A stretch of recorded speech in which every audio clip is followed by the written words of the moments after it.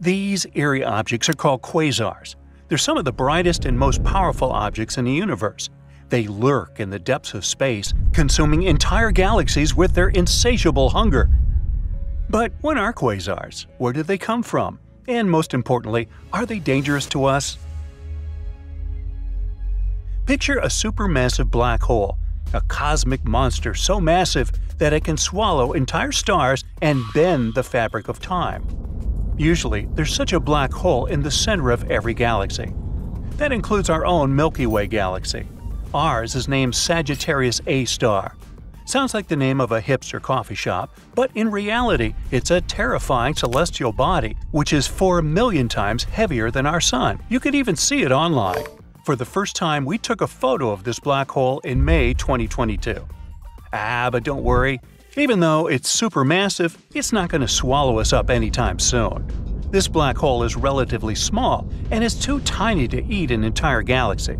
So it's more like a cosmic vacuum cleaner that sucks up stars or gas that gets too close. But there are black holes in the centers of galaxies that are way heavier and more dangerous than ours. They can weigh millions or even billions of times more than our own Sun. Now, imagine one of these monsters. Usually they're surrounded by a swirling, glowing disk of gas and dust, like water swirling down a drain. It's called an accretion disk, and it's where the magic of quasars happens. As material from the accretion disk falls toward the center, it heats up to millions of degrees, releasing vast amounts of energy in the form of radiation. And this radiation is what we observe as a quasar. So basically, the more material a black hole can consume from its surroundings, the brighter its quasar will be. This is what makes them so bright and powerful, shining like beacons in the night sky. And just imagine, some black holes can actually make entire galaxies their meal. Now, combine their ravenous appetite with some intense radiation, and you'll get a truly awe inspiring display of cosmic power. No wonder we can see them, even though they're some of the most distant objects in the universe. Quasars were discovered in the late 1950s by accident Astronomers were just chilling and looking at the sky when suddenly they stumbled upon something strange radio signals that had no visible source. By 1960, hundreds of these strange objects had been found. Astronomers named them quasars, short for quasi stellar radio source. These objects were small and far away, but their energy output was immense and difficult to explain.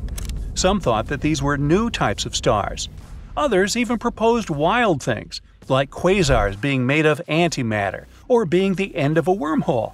But all these theories were discarded. A scientist named Maarten Schmidt was the first one to get to the truth. However, many astronomers didn't believe him. Schmidt had to do a lot of extra work and gather lots of evidence to prove his theory. And finally, he prevailed. And that's how we discovered quasars. Don't you love the scientific method? And since then, astronomers have been captivated by these objects. Why? Because they have some pretty eerie qualities. A, you could call them quasi-quasars. For example, they kind of defy the laws of physics. They emit jets of particles that travel at speeds close to the speed of light. These particles move so fast that they can even distort the very fabric of space and time. But sometimes, they also help us confirm the laws of physics. Now imagine driving a car. As you drive, objects in the rear window start to appear smaller and smaller until they disappear from view entirely. That's exactly what happens with quasars, except they're moving away from us at incredibly fast speeds, up to 90% the speed of light. Mm, wonder why they're trying so hard to sprint away from us. But in any case, this helps us confirm that the universe does expand for real. Another eerie thing about quasars is that they're incredibly old. Some even date back to the time when galaxies were forming or to the birth of our universe. Additionally, quasars are some of the most distant objects that we can observe in the universe. Some of them are located billions of light years away from us. This means that when we observe a quasar, we're actually seeing light that was emitted billions of years ago, when the Earth was much younger and different than it is today. And that's why they work like cosmic time capsules, Studying them gives us a glimpse into the distant past. You see, galaxies are like giant cities, with stars and planets serving as the inhabitants. But just like cities evolve over time, galaxies also undergo changes as they age. And that's where quasars come in. They're like the urban planners of the universe. They shape the galaxies through their powerful gravitational influence. By eating galaxies and releasing intense radiation, they can trigger star formation and shape the structure of the galaxy itself. It's like the cosmic equivalent of a master chef, or a leaf blower, you pick. For example, let's take galaxy mergers. Here are two massive entities coming together, swirling and spinning around each other. As they get closer and closer, their gravitational pull becomes stronger and they start to merge into a new, bigger galaxy. It's a beautiful and dramatic process, one that can take millions of years to complete. But all this doesn't go without consequences. The gas and dust within the galaxies collide, creating massive shock waves that trigger the birth of new stars and even supermassive black holes. And this is where the quasars come into play. Some quasars may be born during these galactic get togethers, and thanks to this, they help us study the effects of this process and the evolution of galaxies over time. But it's not all serious science and no fun. For example, how about gravitational lensing? Now, that's something straight out of a sci fi movie. It happens when the gravity of a massive object, like a quasar, bends the path of light from a more distant object, like a galaxy, behind it. It's like having a really big magnifying glass in space. When you combine a quasar with gravitational lensing, you get some seriously awesome cosmic eye candy. The result is kinda like a funhouse mirror, where objects appear warped and twisted in strange and mesmerizing ways. Gravitational lensing isn't just for show. It's also a powerful tool for astronomers to study the distribution of dark matter and the structure of the universe.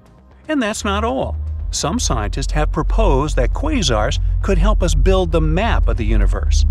They can work like giant neon road signs. Turn left at the quasar and you'll reach your destination. They're like lighthouses that help us navigate through space. By analyzing the light from different quasars, astronomers can determine the distances between them and create a 3D map of the universe. And the best part? Quasars are located throughout the entire universe. That's why this cosmic map can give us a comprehensive view of the universe on a scale that was previously unimaginable.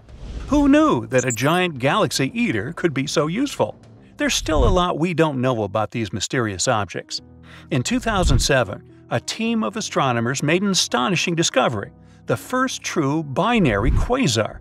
Basically, this means two huge quasars spiraling around each other.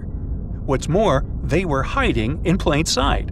For years, scientists had known about this radio source, but had never realized that it actually comes from one lovely couple.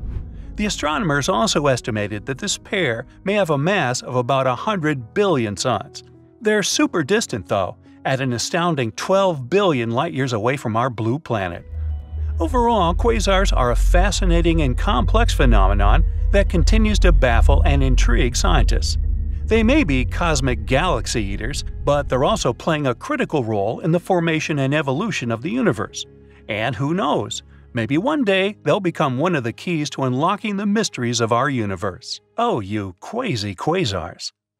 That's it for today. So hey, if you pacified your curiosity, then give the video a like and share it with your friends. Or if you want more, just click on these videos and stay on the bright side.